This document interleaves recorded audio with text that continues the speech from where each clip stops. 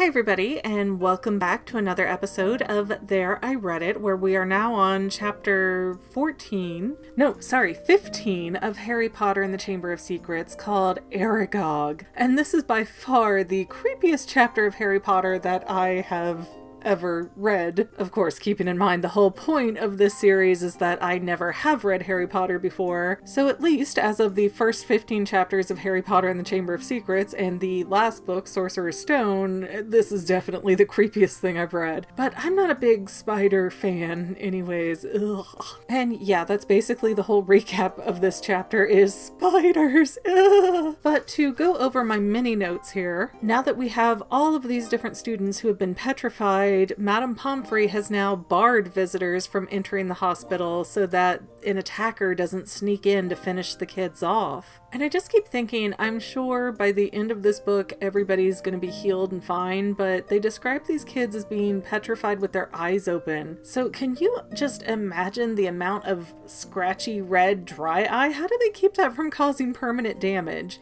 I know the answer's got to be magic, but I, I still feel like there's got to be some kind of residual effect after going through petrification for months. And at the end of the last chapter, Harry was told by Hagrid before he was escorted out of Hogwarts to follow the spiders to get your answers. Problem is, Harry can't find any spiders anywhere. And it turns out I was actually mistaken. I thought that Dumbledore was being completely removed from his headmaster position, but he is only being suspended. He hasn't actually been fired at this stage, and McGonagall is the temporary headmaster while they look for a replacement or wait for Dumbledore to come back, whichever happens first, I guess. And Draco's just sort of super proud of his father Lucius for being able to get rid of Dumbledore, and you can see that Draco really just kind of parrots whatever his father says to him because he wants his father's approval so badly. But Malfoy's talking about how, well, Dumbledore's the worst headmaster Hogwarts has ever seen, and Snape chimes in with a snide little comment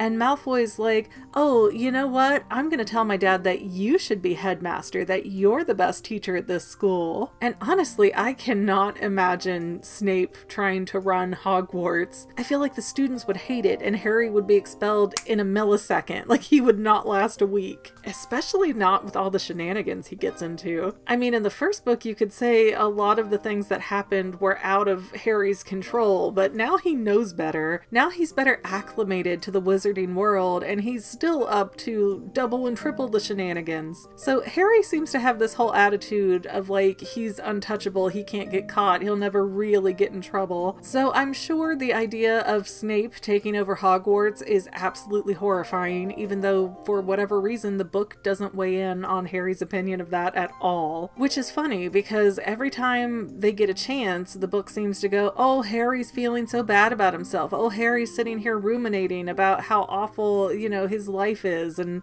it, it's just like, okay, Harry, come on, you're in a wizard school, get up, get with it, take a breath, quit lamenting that your life sucks, and, you know, do the spells. And while Malfoy is running his mouth, he says something about how Hermione should have died. He wishes Hermione was killed. And at that, Ron actually gets so angry that he shoots up off of his seat. And I, I thought that was curious because Ron seems to be very, very, very protective of Hermione in this book when he didn't seem to care for her much in the first book. And I'm not sure why that is, but I'm starting to see a glimmer that Ron kind of has a crush on Hermione. And it's not the same kind of crush that like Ginny has on Harry because she's very quiet and, you know, let me just stand behind you and stare at you, Harry, because I love you. Like the over possessive girlfriend meme. But Ron is more like the type of, hey, I'm gonna kind of pick on you because I like you, but may the ministry help whoever else tries to pick on Hermione because she's mine to abuse. I don't know, I wouldn't quite say that Ron is negging Hermione, which is where a guy says really negative stuff to a girl, gets in her head, and then he can kind of swoop in and use her however he wants. But it definitely seems like Ron's treatment of Hermione, especially in the first book, kind of borders on negging. But now it's time for herbology, and the kids have to prune Abyssinian shrivel figs. And I know how to say that one correctly because I was very heavily involved in the cat world for a while, so I know Abyssinian, I know what that looks like. Some of these other words I'm like, I don't know how to form letters. And while in herbology, Ernie Macmillan, which was the Hufflepuff who was accusing Harry of being the bad guy earlier, he actually apologizes for suspecting Harry at all and says, You know, I know you'd never hurt Hermione, so it can't be you. And then Ernie is kind of like, I think it might be Draco Malfoy who's the heir of Slytherin. And Harry's just like, No. And he doesn't explain it, so everybody is kind of getting a vibe that something's up, or Harry knows what's up, but he's not sharing. And lucky enough, Harry notices two spiders in the greenhouse, and they're making a beeline out of the greenhouse towards what seems to be the Forbidden Forest. And I had totally forgotten this, but apparently Ron was not in the Forbidden Forest in the last book. It was Hermione, Neville, and Malfoy, I believe, that got to go. Or I guess had to go. It wasn't really got to go like you wanted to go to the beach or something. It was a punishment. And a really weird one considering how easy it would be for kids to get murdered in there, but a whole different story. Or maybe it's not a whole different story because now it's making me wonder if a girl dying at Hogwarts is what almost caused Hogwarts to be shut down 50 years ago, why would they be risking a student's life or multiple students' lives to send them to the Forbidden Forest in the first book? See, Dumbledore, he's up to a lot more than he ever says, which is pretty obvious, I know, but there's so many little things that you don't even necessarily consider that Dumbledore is manipulating when he has to be. You know, Harry needed to go into the Forbidden Forest in the first first book so that he could start putting together information about Voldemort and who he is and what he's doing. And now, of course, that experience is coming in handy for the second book. But Ron did not go to the Forbidden Forest in the first book because Norbert the dragon had bit him and he was out of commission for that period of time. So Ron didn't actually help get Norbert out of Hogwarts, which means Ron didn't get caught out of his room after hours and get detention and then get sent to the Forbidden Forest as punishment. So this is all a new nightmare for him. But even though Harry sees the spiders and he gets an idea of where they're going, he can't follow them because it would be too conspicuous. All the kids have to stay grouped together, the teachers are walking them from one class to the next, so he can't exactly leave in the middle of the day to go chase spiders into the woods. Into the woods! But next class is Defense Against the Dark Arts, and Lockhart is just overjoyed and elated and telling the kids there's nothing to worry about anymore. All the threat is over with. It's all good. It's all fine now. And Lockhart feels this way because he thinks the Minister of Magic would have never taken Hagrid away unless Hagrid was 100% proven to be guilty. And it's sort of interesting how the politics of the wizarding world are starting to surface here because just in general, I find politics to be a very fascinating subject. So to see where this really pompous, arrogant kind of wizard is just so blindly devoted to his government and believing everything that they tell him, it, it's sort of a hint at what the future of these books can do and bring out on the political side of the wizarding world. And I, I'm kind of really excited to see how that goes. But now it's nighttime, and Harry and Ron get back into that invisibility cloak and sneak into the Forbidden Forest with Fang, and they have to get off the path, which Harry is a little bit wary to do because Hagrid always told him, stay on the path in the forest or you'll be in serious danger. But the little spiders they found to follow are not staying on the path, so they don't really have a choice, and this huge thing starts kind of creaking towards them, and it turns out to be the missing flying car! I flat out chuckle snorted when I saw that. That, that just made my day.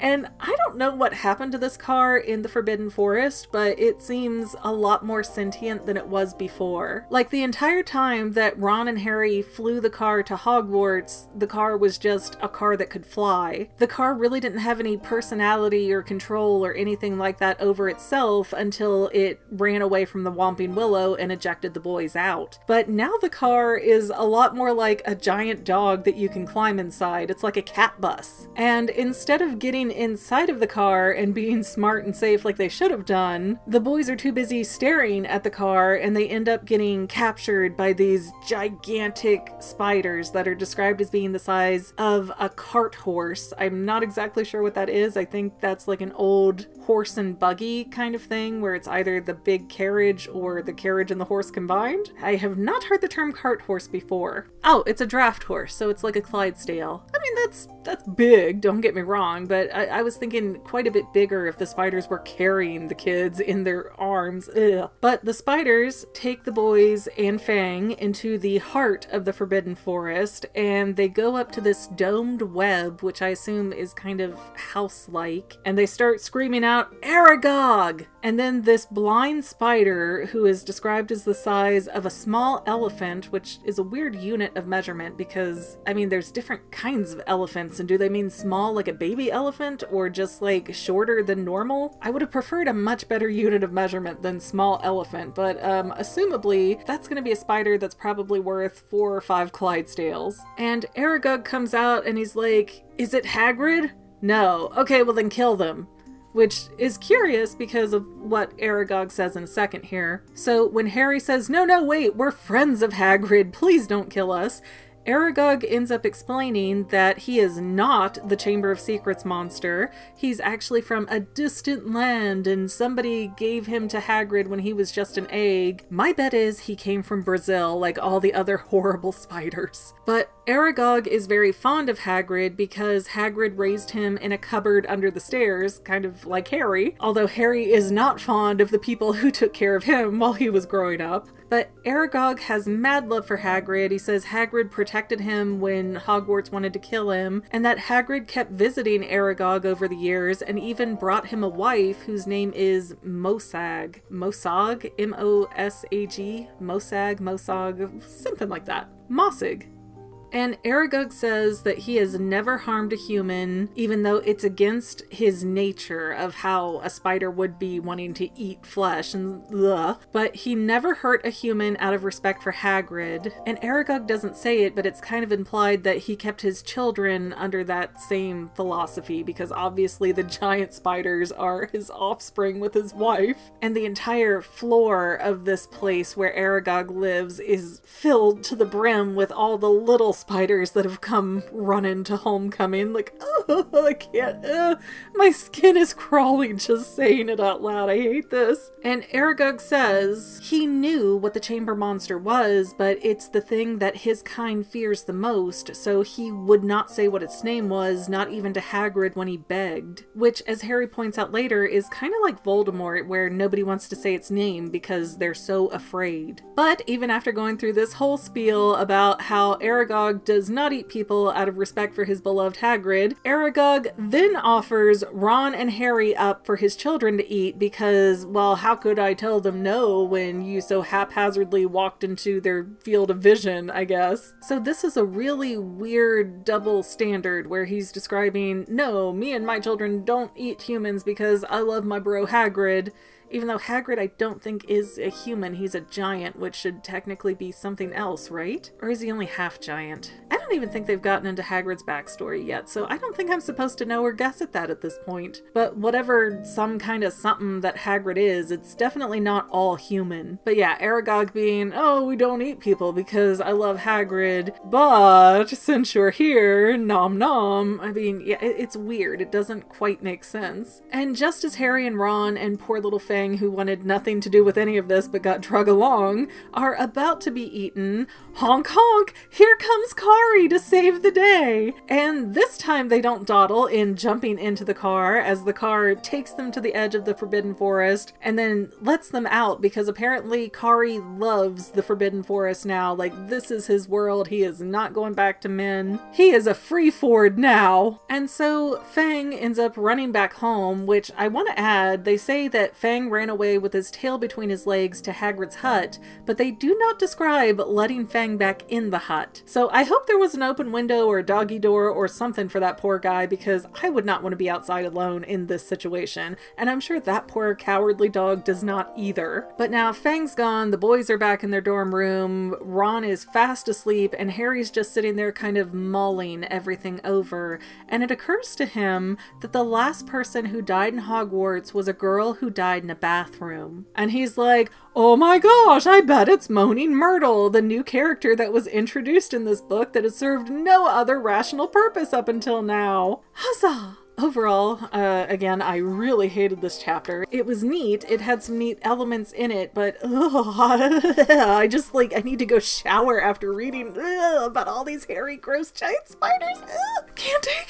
But I'm kind of on Team Ron here that the boys went on this huge, life-threatening adventure, and they really didn't get anything out of it for all that they risked. Sure, now they know that Hagrid is definitely innocent, but they kind of were already leaning that way to begin with, so I, I don't know, I'm confused because Hagrid made it seem like, oh, if you just follow the spiders, you're gonna learn about everything, and no, you just learned a tiny bit more than you knew before. And even the thing that you did learn, it wasn't exactly new information, you just weren't 100% certain about it yet. But we are so close to the end of this book, I'm really excited to kind of book it to the end, ha ha ha, pun intended, because I feel more confident than ever at this point that the chamber monster has to be some snake Medusa kind of creature. I just want to be proven right. I can figure out mysteries in children's books.